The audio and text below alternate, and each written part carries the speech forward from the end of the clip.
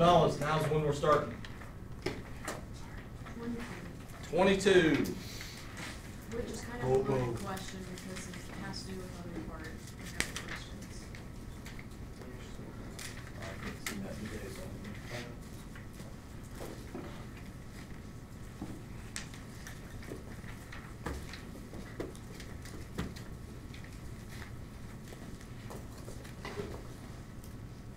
Says, determine whether it is possible that the following proportions are equal and explain your reasoning.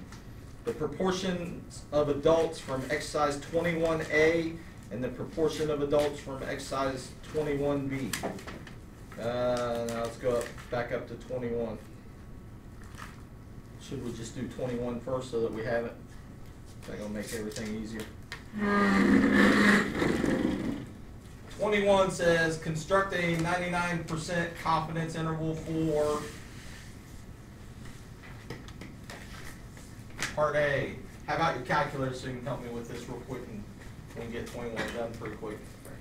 Uh, population proportion of adults in the United States who say that climate change poses a large threat to the world.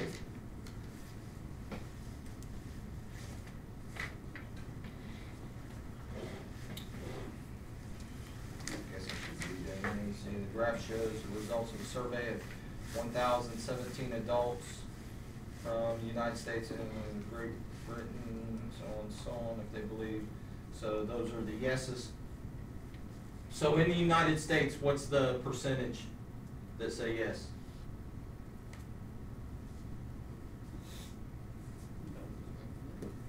Twenty-seven. Twenty-seven.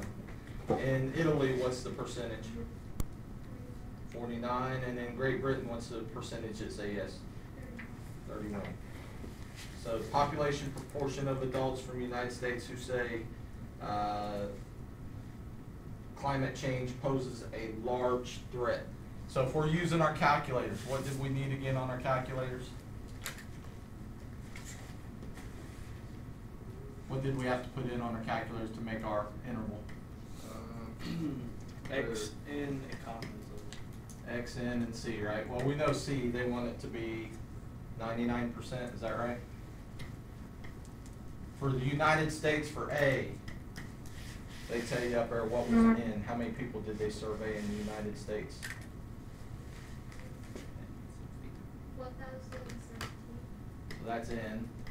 How can we find X? How can we figure out how many people said yes? Usually percent. So, so, grab your calculator, for the United States, it was twenty-seven percent, so it's gonna be 0.27 times that ten seventeen. I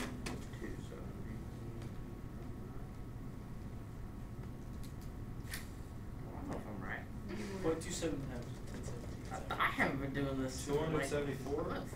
Two seventy-four, does everybody agree with that? Round up to seventy-five. Two seventy-five? Now, on this one, is it really close to two seventy-four? No. So It's what- closer to two seventy-five. Alright, Cause this one, usually we have been rounding up regardless. This time it's just the percentage, so we're not doing that. So, in your calculators, grab your calculators. We're gonna put in those three. That'll help us find the interval here. Point two three five and point three zero six. So everybody agree with Sean on that? Absolutely. So it's about twenty-three and a half percent to thirty point six percent. Uh, B says population proportion for adults in Italy, doing the same thing. So the parts that are gonna change for Italy, the X and the N are gonna change. What's N for Italy? How many people did they survey in Italy? A thousand six. Thousand sixty, oops, sorry, that's not X, that's N. Thousand sixty. What was the percentage in Italy? So 0.49 times ten sixty, what's that give you?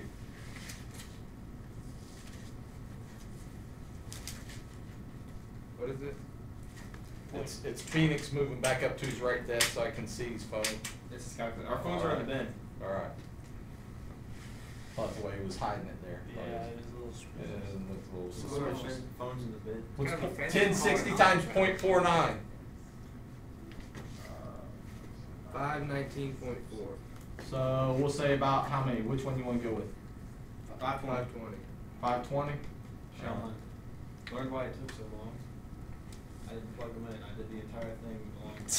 You did the long way? Oh, is that why you were saying it was tedious? Yes, I I, thought- I didn't think about. I, I thought you were saying it was tedious because it it was so easy. As I did it, I'm thinking, yeah, well, this is ridiculous. Just do the same thing over and over again for these problems. It's not hard. Yeah, I was doing it that long way. Plug that into your calculator. Again, C is nine point nine nine. What's that give us for our intervals? This Point is four five four, Four, five, four, Four, Five, five, one. one. oh, five, one. My fault. and then point five three oh. And this is Italy, right? Yeah, And I'm guessing C deals with the other one, correct? yeah. So let's do it. Need to find X and N for it. What was N for uh, Great Britain? How many people? One thousand one hundred and twenty-six. And the percentage for Great Britain was what? Um, thirty-one. Point three one. What's point three one times eleven twenty-six? Three forty-nine point oh six. So about three forty-nine. Yeah. So again, C is still 0.99. Does everybody know where you're going on your calculator to punch this in? Yeah. Do we need to go over it again? Yes. So you, Daniel, do you know seriously? Alright, then I'll tell you. Alright, so you go to, what do we go to first? Stat, Stat. sorry, stat, then over to test, Yeah. then down, we're gonna go down to One prop Z. one, I, I always say it backwards, one prop Z int, is that right? Yeah. It should be A on your It's like part A. Yeah, it's part A. And then when you get there, you're gonna punch in these three things.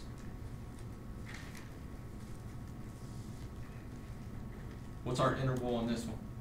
Point two seven four, Two, uh, point three four five. does everybody agree with those two? Yeah.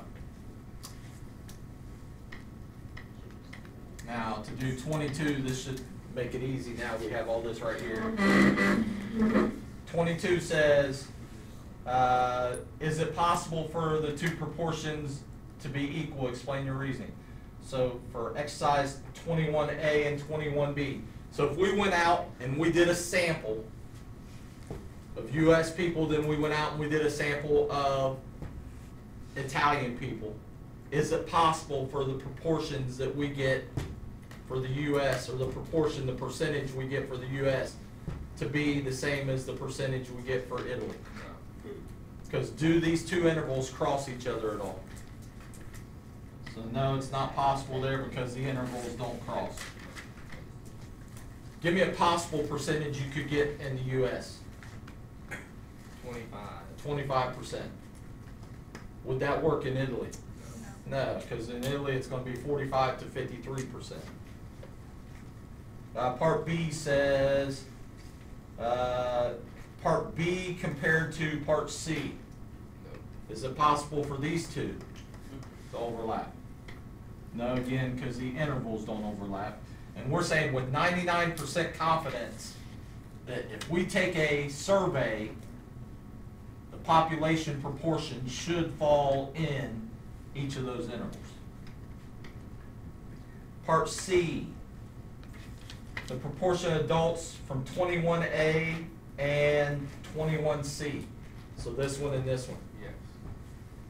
Why is it possible for those to work? Because they. They overlap. So give me a percentage that if we got it in the US, we could also get it in, uh, Great Britain. Twenty-eight percent. If we got twenty-eight percent said yes in the US, is that gonna fall in this interval for Great Britain? Yeah.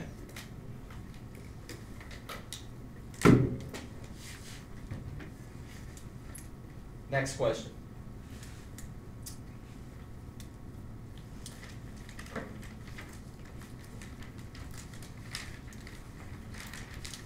Better put it in your bag, cause I'm, I'm taking it.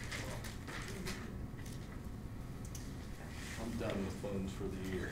I just had that discussion first block. Gotta be uh, transitional. I couldn't believe those guys were on there. Y'all were doing taxes today? It is tax season. I mean, that's why I did it today, thinking, all right, this is a good thing for them, and they're still not paying it. It's something actually. Man, we never learned about taxes or nothing. We do twenty-three too. Twenty-three. You what, Phoenix? Said they never learned about taxes in school, but when you get taught it, they don't pay attention. In exercise twenty-three and twenty-four, uh, use the following information. The table shows the results of a survey in which separate samples of four hundred adults from, uh, from the east, south, midwest, and west were asked if tra- traffic congestion is a serious problem in their community. Uh, construct a ninety-five percent confidence interval for the population proportions of adults. Uh, part A is in the south. This is twenty-three, right?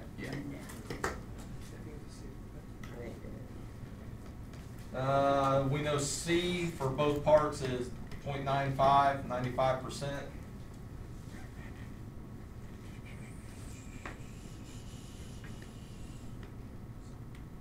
How many people, what's our N this time? They did four hundred for all of them, right? Yeah. Now, for the different parts, so that's the same for both of them, or, yeah, for both of them, but we need to find X for each one. Uh, in the south, what was the percentage in the south? Thirty-two. So we're gonna take four hundred times 0.32. Somebody do that for us. One twenty-eight. So that means hundred twenty-eight people said yes, so in our calculators, we're gonna put in X is one twenty-eight, N is four hundred, C is 0.95, and we want the interval.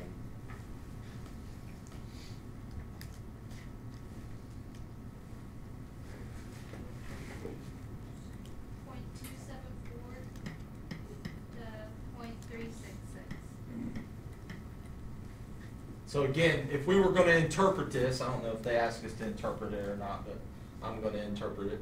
We would say something like, uh, with a ninety-five per, or with ninety-five percent confidence, we can say that the people in the, what was it, the south? People in the south who say that congestion, traffic congestion is a problem is gonna fall between twenty-seven percent and thirty-six and, or thirty-six point six percent. Part B, what they ask us for in part B? From the west, Yeah. so we need to find X for the west, what was the percentage in the west? Fifty-six. Fifty-six percent, why do you think that's so much higher than all the rest of them? Like California. California. If you go out there, if you've ever been out there to drive, it's ridiculous. So 0.56 times uh, 400 is what? 224. Plug that into your calculator. This, the C is still 0.95 and the N still 400.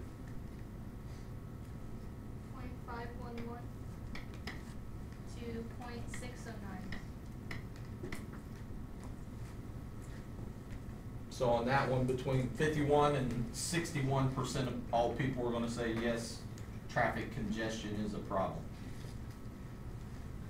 I think that's all they asked us on that one. Other questions?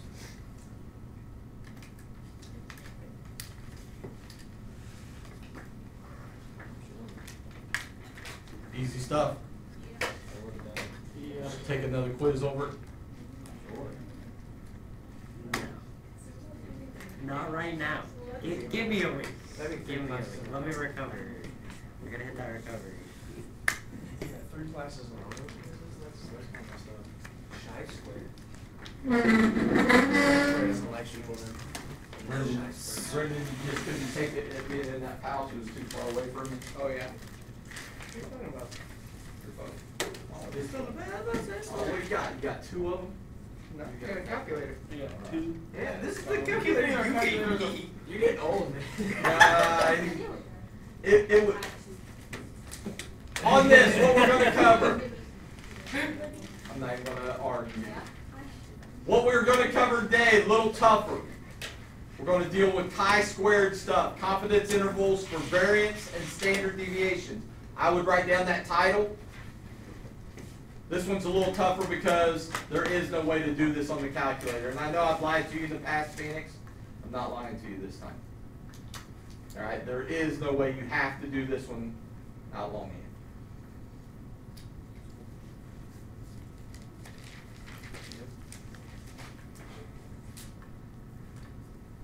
We'll write out confidence intervals, the top. Yeah, I just write out the title, then I'm gonna switch it here in a second. So what we're doing now, start of the chapter, we did, our point of estimate was mu, and we used X bar. Then last time, our point of estimate was P, and we used P hat to get our estimate. Now we're doing variance and standard deviation. Remember, variance is sigma squared, standard deviation is sigma, and our, uh, what we're gonna use for those are S squared and S. That's what we're gonna look at. The chi-squared distribution, we're gonna talk about that. Chi-squared distribution, chi-squared. We, we go into it some. That's a really, really, really big part. If you take this class in college, you'll go into it more than some. It'll be a whole bunch. We don't do a whole lot with the chi-squared just because it's too hard for me. I don't feel like getting into it. So you, so you can tell your professor that, Sean, when you get to college, you gotta take this safe. Ebersole said the chi-squared stuff was too hard for him, so he didn't go into it a whole lot, so you're gonna have to teach me well.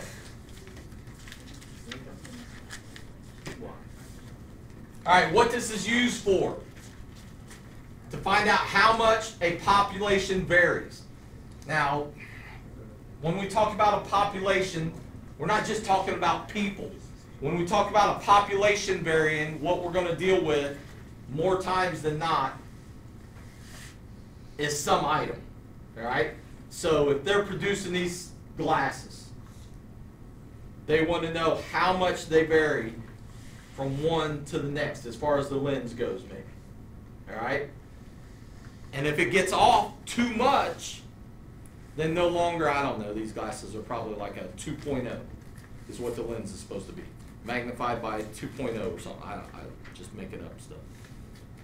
Well, if it gets off and it's, you know, too much one way or too much the other way, then they're lying to us when they're selling them to us.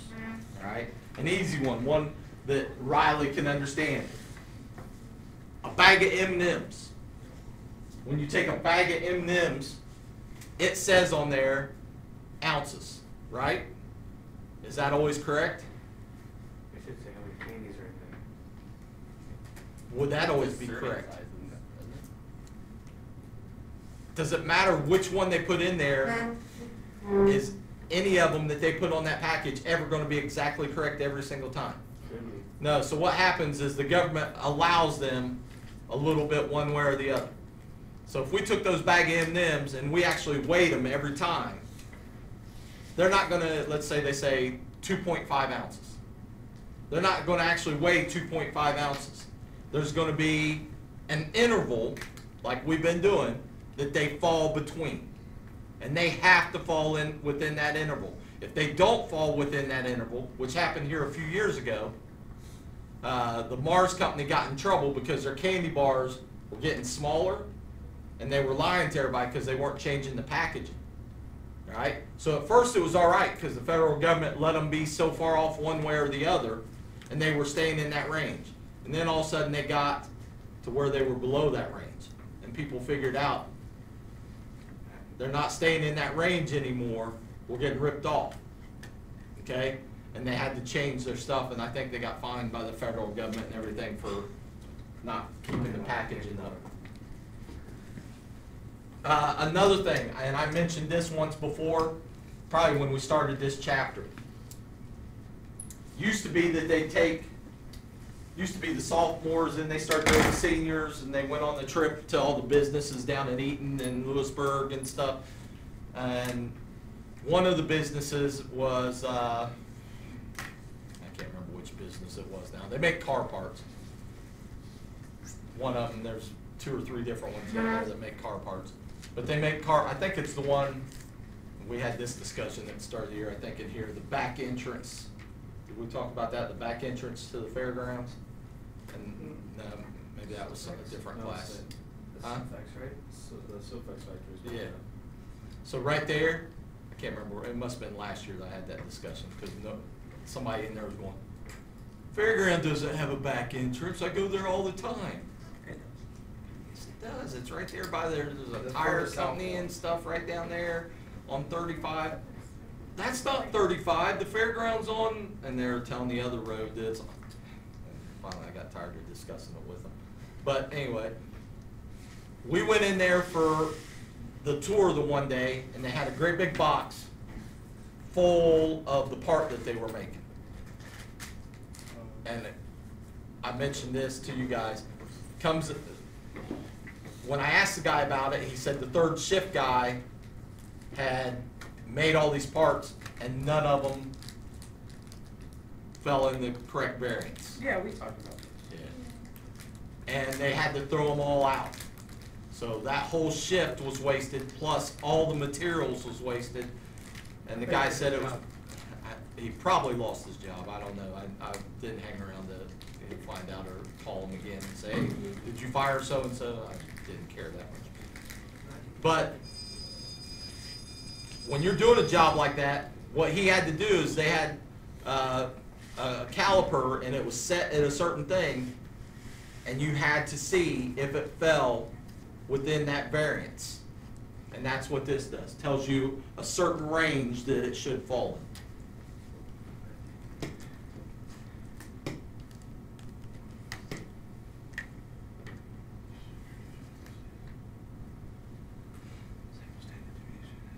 This is, I wouldn't write any of this down either. So, what we're gonna look at is S squared, that's standard, or, uh, I'm sorry, variance for a sample. And our point of estimate is sigma squared, variance for, uh, population. And then for, uh, standard deviation, it's S for a sample, sigma for a population. Hopefully you remember all that. We should probably take another symbols test here real soon, shouldn't we? Actually, I could probably do that one. I, I might be able to pass that one. This I would write down, chi squared. Notes aren't very long today, as far as what you might need to write down. This one, I would probably write all of this down. And then again, you don't have to go word for word, it's not.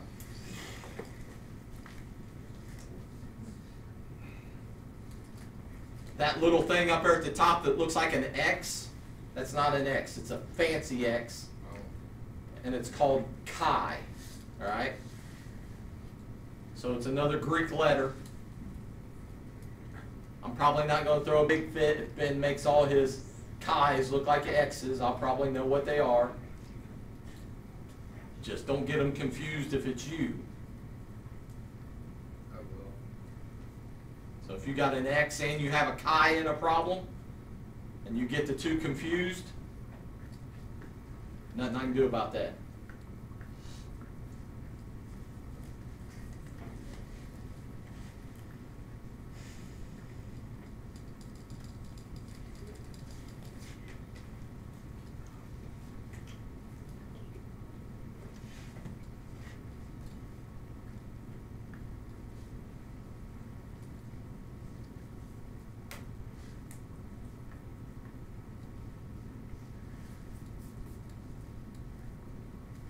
Now, chi-square distribution, as you look at that, when you get down to the graph, you look at that chi-squared distribution, that looks different than every other distribution that we've done.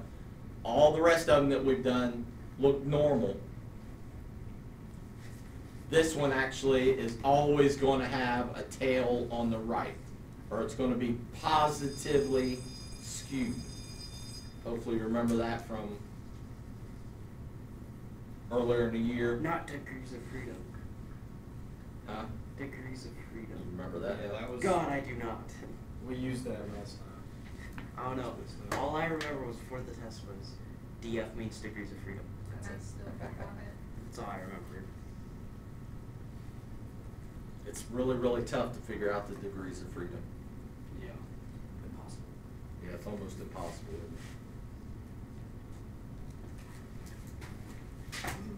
Might involve taking off your shoes and socks, Count on your toes. counting using your toes. Is that alright if I got nineteen and I take one away? Seven toes, you already got a problem. That means- That'd be a lot. We got bigger problems than that, that's happening. So to figure out chi squared, chi squared equals n minus one on top. That's n 1 is the same as your what? Degrees of freedom. So it's the degrees of freedom on top divided by the variance of the population times the variance of the sample.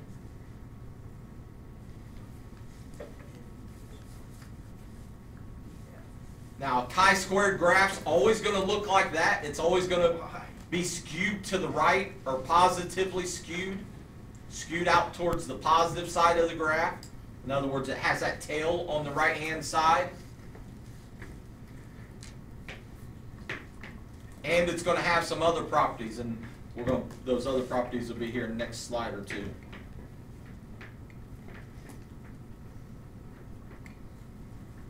You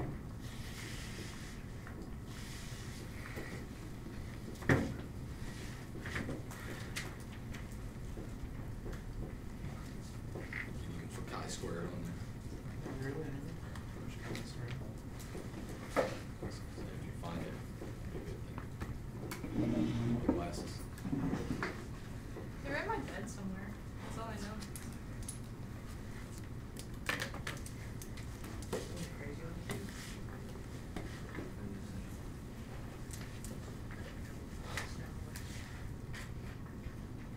It's a chi-squared. There was another one too. On the side. Chicken, got the hot sauce for the day. Oh, where's that, uh, where's that Mayan ruins one? No, I'm not bringing the baby ones yet.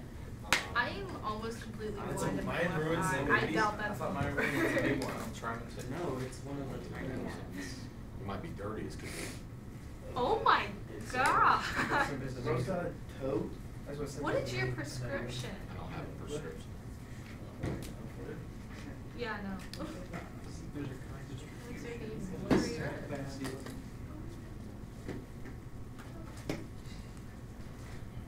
So again, a chi-squared graph looks like this.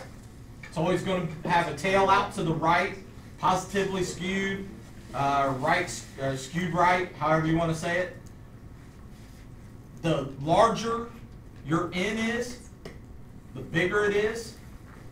The more it looks like this. The smaller the n is, then the chi-square graph looks comes back this way more and stuff. So it gets farther and farther away from that normal curve, the smaller the n is. So it's a whole family of curves that we use with our degrees of freedom, just like the last one that we did. So it could look something like this. If we have, if our n is one, then we have this real small area here. If n is, two, uh, this says four, then we have the green one. n is nine, you see we get a little closer to normal. If n is fifteen, we get a little closer to normal. The bad thing is with the normal curves, this will never be a normal curve. Because it's always got to be positive, and that's one of the rules uh, for a chi-squared, or one of the properties of a chi-squared. So write this down, the properties of chi-squared, and you can use the symbol in there instead of writing out the words. These four things. It's always going to be positive. It's always going to be a family of curves. The area is always one still. And it's always going to be positively skewed or skewed to the right. Remember when it says skewed one way or the other, it's whichever end the tail is on. Is the way it's oh, skewed. Oh, So- gotcha. So if it's skewed to the right, that means you got a tail out to the right. If it's skewed to the left, you got a tail out to the left. Does it only? Whenever I think of skewed, I think like that's where the data is. Right, where most of it is. I, that's sort of the way that most people think. Oh, it's skewed over here because there's more stuff over here, but that's not the way it really works. It's where that tail is.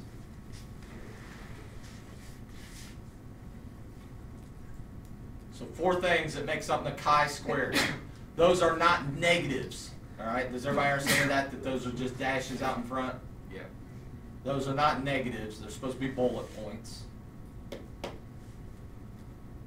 So chi-squared always has to be positive. Unlike everything else that we've been doing that you had positives and negatives, chi-squareds are always positive. So if you come up with a chi-squared and it's negative thirty-two point seven, you did something wrong.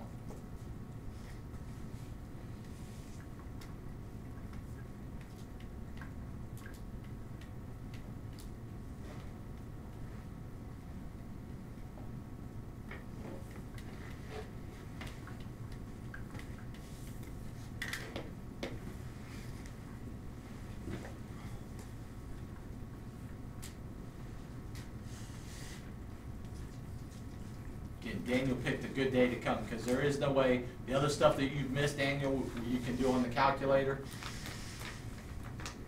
Can't do this one on the calculator, this one we have to do out on So this homework's about. Next slide's gonna be the calculator stuff. Oh. oh. Next week. Alright, I lied to you, we can do it, okay. Fifty-seven problems. If, if, if we can, I'll be surprised also. So it'll be something that I didn't remember that I figured out at some point. For you. Exactly. With with chi-squareds, I would write this down and draw this. You're always going to have two critical values. So instead of the way it's been up till this point, where we had negative one point nine six and positive one point nine six, that no longer works. Now you're gonna have something like 5.32, 70.58. You're gonna have two critical values, one on the left, one on the right. And you're gonna have to figure out both of them.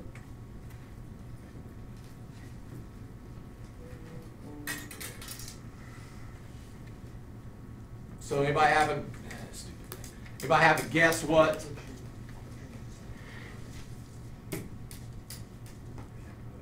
chi-squared L stands for? Left. The left critical value, chi-squared R, and it's supposed to look like this. I know you can't hardly tell on mine. It's chi-squared with the little subscript R is what it's supposed to be. It's hard to do that on the computer. It doesn't like the, I was just gonna write it as a fraction. I'm not gonna lie. Off to the side, I'm just gonna put a line between the two. So it's the, the left critical value and the right critical value. And we're gonna have to use our charts. Here in a second, you'll need those charts out. There's a chi-squared chart in there, and we'll do something with it to show you how to find those two critical values.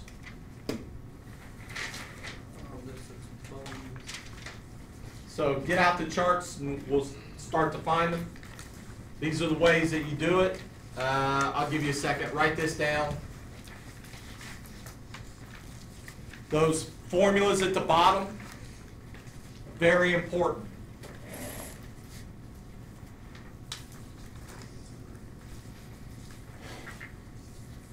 Usually, it's easier to find the chi-squared right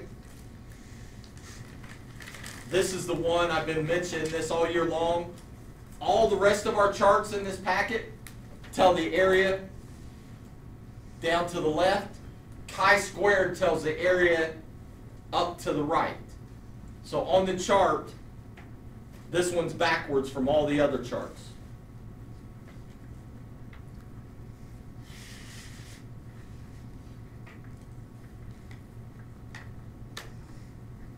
Those two little formulas, they aren't hard. They're going to help you find your critical value zone. You got to do them first.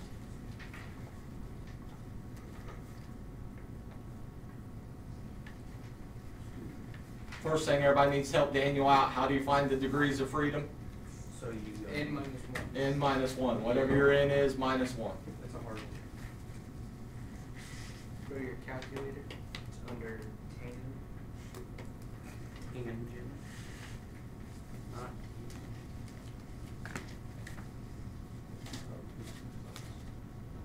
I hated two colors. Two column proofs in this class was easy.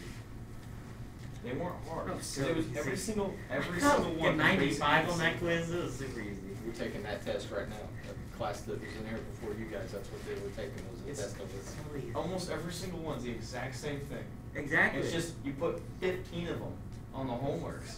So you just write the same thing over and over. Yeah, which was easy. It was Why? easy, but it was so annoying. So, what did you do back in second grade when you were doing a spelling list? Because. Learning something I use now. Yeah. You, you write the words, when you were practicing for your spelling test, what did you do? You wrote the words like fifteen times. It's always, it's always given something. Given again later in the problem. And then ends with one of the, what are they, the rule, whatever, the reasons. I don't know, but the, the S, called? S, S stuff, like all of that, all that was super easy. No, there were some kids who put, like, wrote it out, the whole thing. Those guys were crazy. No, there, there was. Why would you just write the short, know like, you let it. us write just, like, SSS, sine angle, sine whatever. Oh, Angle, why people I was. I found I had a nineteen in your class one time. I had nineteen percent. I'm at a in 40. geometry in sophomore year. I still passed. That's when that wall was showing. It's feeling real I still passed though. You did say that if we did really well at the start of the year, we didn't have, didn't have to worry about the second part. But still. I didn't say you didn't have to worry about it, I said you wouldn't have to. You, you have to worry about it less. Right, you wouldn't have to do as well the second half of the year. I didn't do too well I on mean, the I- quiz I missed. Isn't that just sort of common math knowledge that, hey, if we average all this up, if I do really well here, Why'd you be on it? I don't have to do as well here to get the grade in the middle? I mean, that's sort of common. Uh, you're fine. So, first thing you're gonna do, you're gonna find the DF, then we're going to find these two. You've got to know, to find the, the chi-squared right, we need this number, one minus the C, which is your confidence number, 95, 99, 80, whatever it is. That answer divided by two. Again, some of you, like on the quizzes that we've been taking, some of you are gonna mess up. You gotta make sure you do one minus that, hit equals, then hit divided by two, otherwise it's gonna give you the wrong answer. Same thing over here, instead of one minus C though, it's one plus C. So we're gonna have to find both of those. That's gonna help us find our two critical values. The third thing you gotta do, and sorry, my picture here looks terrible because it will not allow me, hiding that Brian doesn't do any good, it's still gonna get it taken for a minute.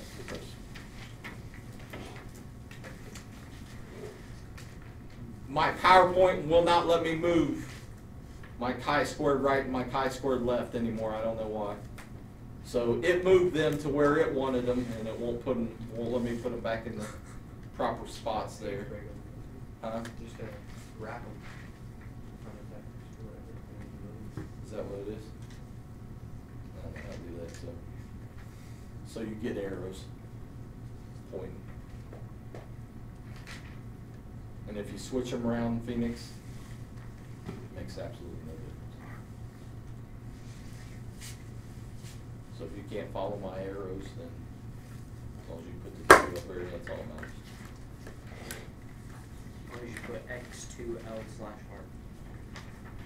Next thing I want you to do, once you got that written down, those are the three steps to find our two critical values. Get out your charts, flip through it,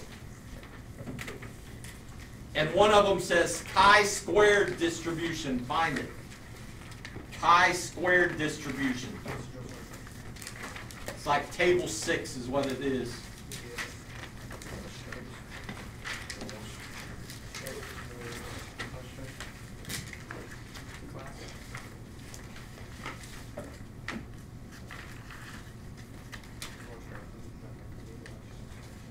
So on it, we're gonna do those three steps. That's exactly what we're gonna do, those three steps. You got your confidence interval, that's telling you the percentage that's in the center here. We're gonna figure out what are the boundaries for that confidence interval. It's gonna give us our chi squared left our chi squared right boundary on each side. So to find uh, critical values for chi squared right, chi squared left for 95%, if our n is 18. So what we're going to do, if n is 18, what's your df? Seventeen. 17. Our c is 0.95. On this chart, well, before we do the chart, each one you got to do this. You got to do these little things. So 1 minus 0.95 divided by 2, and 1 plus 0.95 divided by 2. Now, hopefully, after you do one of them, Riley, after you do a couple of these, you're going to figure out what these two are to each other, and you won't have to do them both every time. Somebody help me out. What's 1 minus 0.95? What's that give you? Point oh two five. 0.05 and then divide it and it's 0.025, right? Now do this one. What's 1 plus 0.95 and then divide that by 2? 0.975. Anybody notice anything about these two? They always add up to 1. So if you find the first one, all you really got to do to find the second one is subtract it from 1. If that confuses you, then just do both those little things. They're not very difficult. Now what we're going to do is we're going to take this one. Remember this is our, for the first one, this is your chi squared right. This one is for your chi squared left side. And you're going to go on the chart, on the chart, look for 0.025 and our DF, which is 17. So we go down to 17 on the side. Is 025 even on this chart? Yeah. Is it? So it's over there, what's it come out to be? Thirty point nine nine one. That's our chi squared right. Again, it's, when we find them, it's usually backwards. This is the one on the right-hand side. And you'll, you'll see when we find the chi squared left, our chi squared left, we go down to seventeen again, and we look at 0.975. What's that tell us? Um. You should know which one's your boundary on your left and which one's your boundary on your right just by looking at the numbers. Which one has to be farther to the left? The 7. The 7. This one has to be farther to the right. So what we're looking at, no negative stuff, it's this graph, the tail on the right. We're saying that this boundary over here is 7.564. This boundary over here is 30.191. And we're saying that ninety-five percent of all the information should fall within that range. Alright? What's the percentage out here? Two point five. Two point five, what's the percentage out here? Two point five.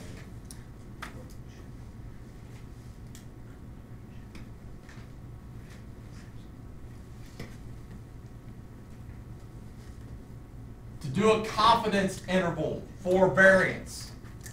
To do a confidence interval. Write this down, this is gonna tell you how to do the confidence interval. Very, very important. This part right here, I'll tell you what, we'll write it like this, because this will make more sense to you guys. Instead of writing it out with the alligator mouse, if you write it like this, n minus one in parentheses times s squared divided by chi squared right, and on this side it's n minus one times s squared divided by chi squared left. I don't care if you write it this way with the alligator mouse or if you write it the way we've been doing everything else. That's totally up to you. I'll know either way. All right, since we've been doing the parentheses more, that might be better just to keep everything constant. Now Daniel might say, no, I want to do this one different. I want to write it with the alligator mouse so I don't get it confused with the other ones. I don't know. It's up to you guys.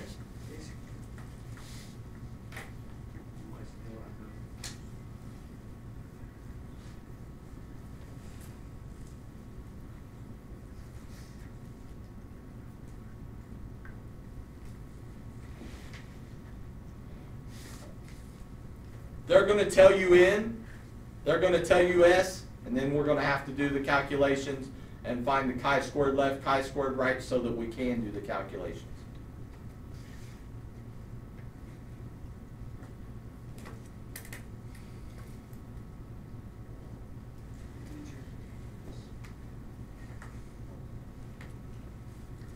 So Michael was complaining that he did everything out longhand last time.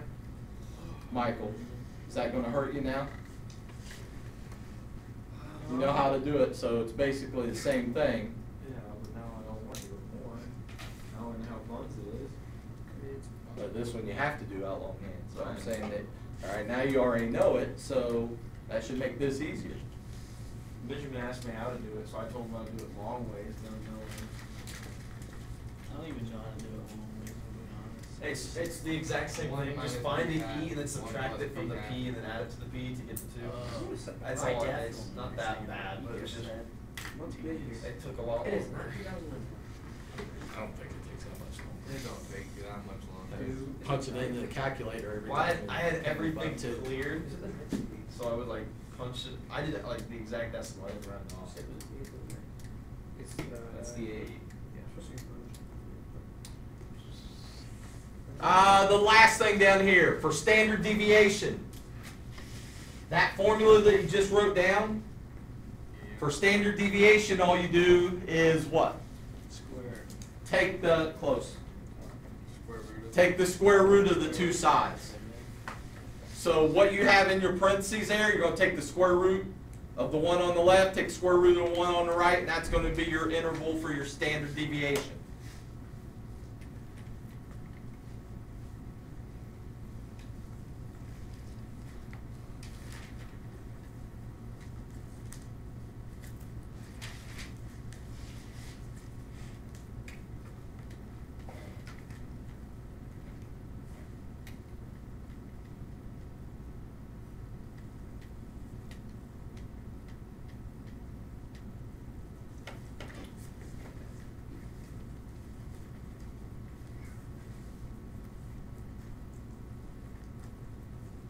Where you see an eight? Like, like, like drew an eight instead of an S. Should have mentioned that at the beginning. This is me talking about my writing, and everybody would have understood. 'Cause it's horrible.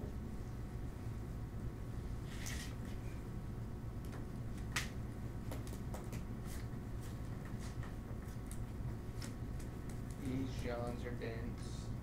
These Johns are dense. The notes are dense. Dense. Yes. Oh. I know.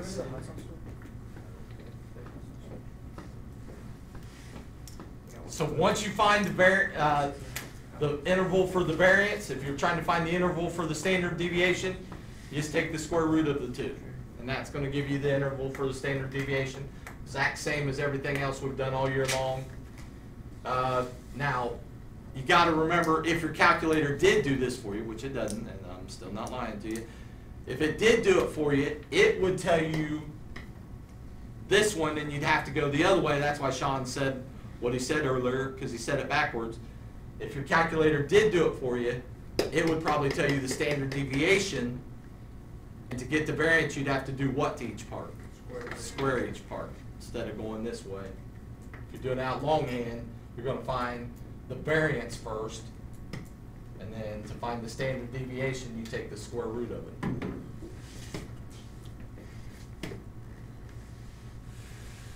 So making the confidence interval, it's gotta be normal. They'll tell you that every time. You're gonna find your DF. S squared is this. Probably, most of the time, they're gonna tell you what S or S squared is. Now here you gotta be careful. If they tell you S, then in this formula, what do you gotta do to that S? You gotta square it. So sometimes they're gonna tell you S equals seven point two. Then when you put it in here, you're gonna have to square it. Other times, they're gonna tell you S squared equals, and then you're not gonna have to square. So you've gotta read the problem carefully and know which one you're doing. You're gonna have to find the critical values. You find those critical values by using your chart and using the uh, 1 minus c divided by 2 and the 1 plus c divided by 2 and the degrees of freedom. This is going to give you the interval for uh, your chi-squared. Then if you want just, not chi-squared, for sigma squared. And then if you want just sigma, the interval for the standard deviation, you'll have to take the square root of both sides.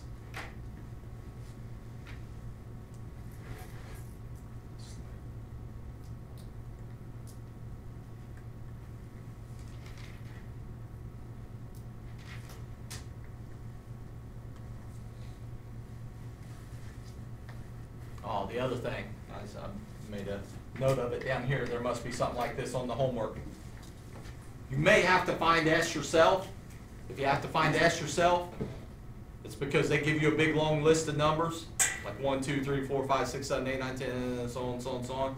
And you gotta put that in a list on your calculator and do the one variable stats, and then find the SX, and then use that in the problem. So you may have to find uh, that standard deviation using your calculator, the one variable stats thing. If they give you a big long list. Otherwise, they'll probably tell you what S is or what S squared is. It's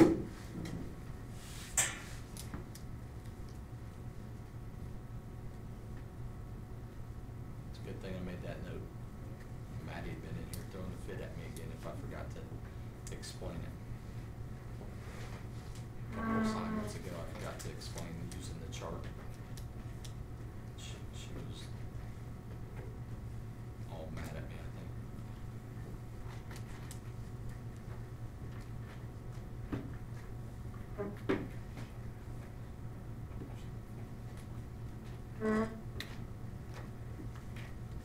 This is the last section in this chapter, so we'll have a test next week.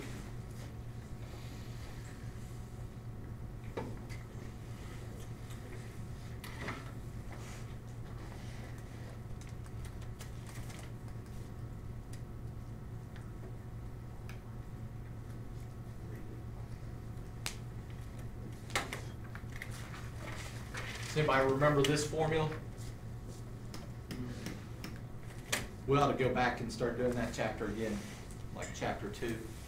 We should go back and redo it and do it all longhand, shouldn't we? With the big long charts. That'd be okay if that's the only we did, like rest of it. Rest of the year, just do that. We might do that. We get new grades for it? Yeah. Alright, yeah. But you're gonna have to do it all longhand, no calculators. When it comes test time, I'm taking all your calculators. For what? Just let's do proofs again. Like Yeah, one let's proof do a two day. column proofs. Let's do like one proof a day. Turn around, smack it.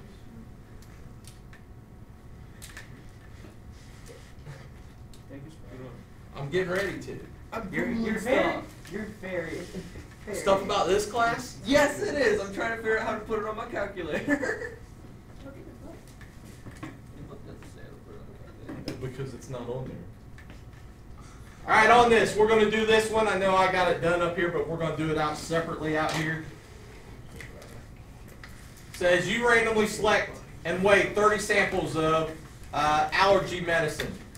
Uh, the sample standard deviation is one point two milligrams. Assuming, assuming the weights are normally distributed, construct a ninety-nine percent confidence interval for the population. So our C is 0.99. This is probably the last thing that we'll get done. Uh, our S is 1.2. Does anybody know when you're talking about any kind of medicine, what's 1.2 milligrams mean? When you see that on a package or something, what's it telling you? Point two milligrams. Of whatever kind of medicine it is. Not, not that the pill weighs 1.2 Yeah, milligrams. it's how much is in that. How much of medicine's in there, because there's other things in there other than just Yeah. medicine. There's other stuff in there, stuff that helps the medicine maybe not taste so bad or whatever. Not to upset your stomach and stuff like that. Uh, so our C is 0.99. What's our N this time? Thirty. Thirty. If n is 30, first thing we gotta do every single time, find df. What's df? Twenty-nine. 29. Alright? Now, we're going to do this. Again, every single time. 1 minus, what's our c? Point nine nine. 0.99 divided by 2, and 1 plus 0.99 divided by 2. Somebody help me out and do that top one. 1 minus 0.99 divided by 2.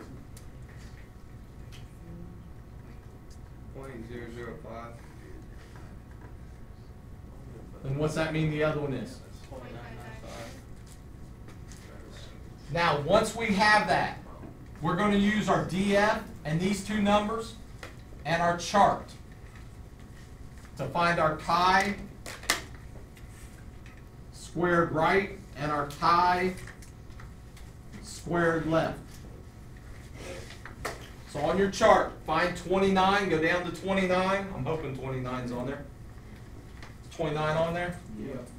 Go down to 29, go over to 0.005. What's it tell you? 52.336. Go down to 29, go over to 0.995, and what's it tell you? 13.121. Those are our critical values.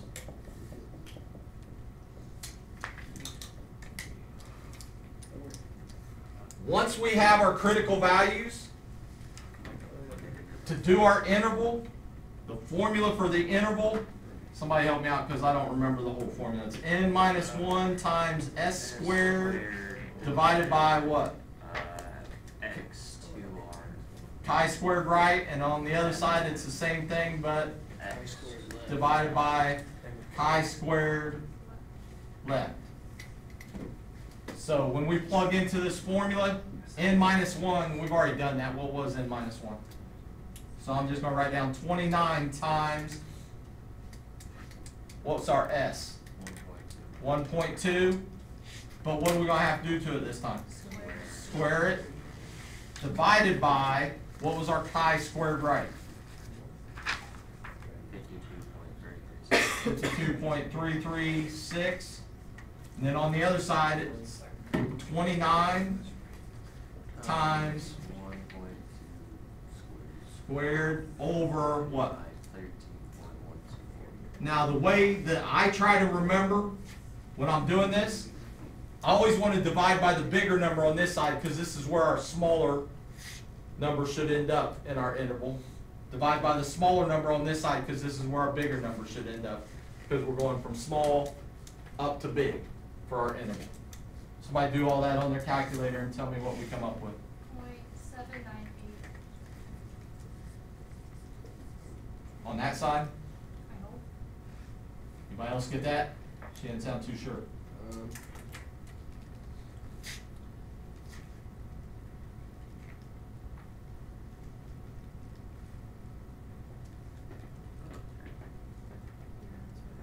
yeah. Alright, now with this, there shouldn't be any way that you can punch this into your calculator wrong. If you punch it in twenty-nine times one point two squared divided by fifty-two point three three six, the calcul, you can punch it all in as one thing, the calculator will do it all. How about on the other side? Three point one eight three. Anybody else get that?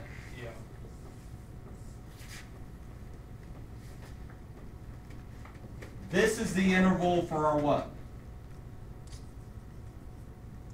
Variance. Our variance. Sigma squared. That's the interval for the variance. If we don't want the variance, if we want the standard deviation, the square root, not square, square, square root. We take the square root of both of them. So somebody help me out. What's the square root of 0.798? 0.8. 0.893. What's the square root of 3.183?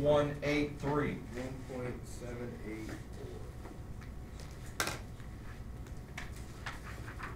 Those are our two intervals. So we're saying that the variance of the pills should fall from 0.798 to 3.183. It should fall within that interval. The standard deviation, how much each pill should deviate from the mean should be no more than 0.893 to one point seven, which is an awful wide standard deviation for this, because if we're deviating by one point seven eight four, well, if you put, if the sample is one point two milligrams, well, we're up to almost three milligrams. That's, that's a lot of deviation there. How come it's such a big deviation? We're ninety-nine percent confident that it's gonna fall within that range. Probably if you're doing medicine like that, we're probably gonna try to shrink that down, because we don't wanna all of a sudden it throw in there three milligrams and find out that, oh yeah, that killed somebody or something, because they took too much at one time. And, uh, that's not the way it works. Exactly. Cheaper medicine anyway. That's your assignment, page three forty-one. It's extremely long, it's like fifty problems.